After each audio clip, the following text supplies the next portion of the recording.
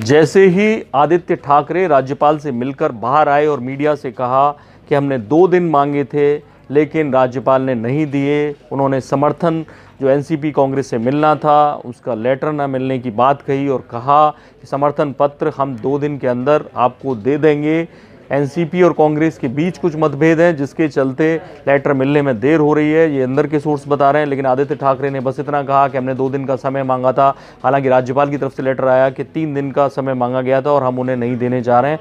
NCP को बुलावा दे दिया गया। ऐसे में एक कयास बड़ी तेज़ी से लग रहा है, क्या शिवसेना?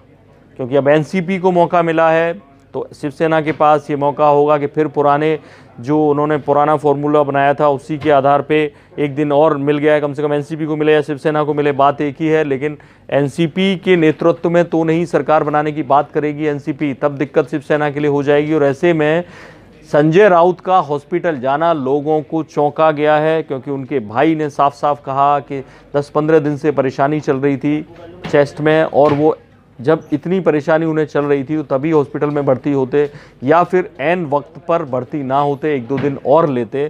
संजय साहब को लास्ट पंद्रह दिन में थोड़ा सा चेस्ट पेन हो रहा था। अभी उनकी एक टेस्ट मुंबई हॉस्पिटल हमने की थी, उसके अंदर थोड़े चेंजेस दिखाए थे।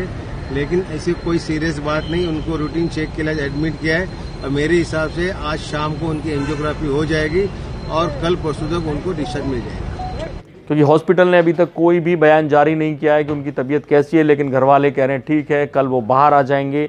लेकिन पार्टी के अंदर लोग ये कह रहे हैं कि संजय राउत को खबर मिल गई थी कि एनसीपी या कांग्रेस उनको सीधे सीधे समर्थन नहीं देने जा रही है, कुछ गड़बड़ हो रही है। ऐसे में पार्टी के जो पुराने लोग हैं, वो ये भी कह रहे हैं कि अब एनसीपी और कांग्रेस पे भरोसा नहीं करना चाहिए। बीजेपी से दोबारा टाइप करना चाहिए और उप मुख्यमंत्री पद लेकर शिवसेना को वहाँ सरकार उनके साथ बनानी चाहिए। तो इसमें केवल एक व्यक्ति था जो रोड़ा बन रहा था, संजय राउत, ऐसा पार्टी के सोर्सेज का कहना है। और अब अगर बीजेपी ये मानेगी भी शर्त, सरकार बनाने की शिवसेना के साथ तो संजय राउत की बलि तय मानी जा रही है। किसी ना किसी पे ये गाज गिरनी है, क्योंकि संजय राउत थे, जो दावा कर रहे थे उद्धव ठाकरे के पास कि पवार साहब तो अपनी मुट्ठी में है, दो मिनट में आ जाएँगे, लेकिन पवार साहब का गेम लोगों की समझ में आसानी से नहीं आता। बड़े बड़े दिग्गज फेल हो जाते हैं, और इसी के चलते कांग्रेस उन्हें आसानी से बाहर से समर्थन देने को तैयार नहीं थी।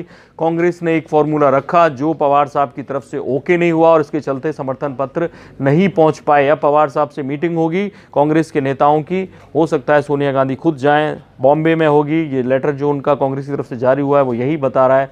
और ऐसे में पार्टी के अंदर के लोग ये मान रहे हैं कि संजय राउत से नाराज़ हैं उद्धव ठाकरे, जिसके चलते अगर वापस वो बीजेपी के खेमे में जाते हैं तो संजय राउत की बलि तय मानिए। इस खबर पर हमारी नज़र बनी रहेगी। आपको अपडेट देते रहेंगे देखते रहे इंडिया न्यूज़ सब्सक्राइब करें इन खबर। थैंक यू, नमस्कार। इन खबर चैनल को सब्सक्राइब करें और बेल आइकन दबाना ना भूलें।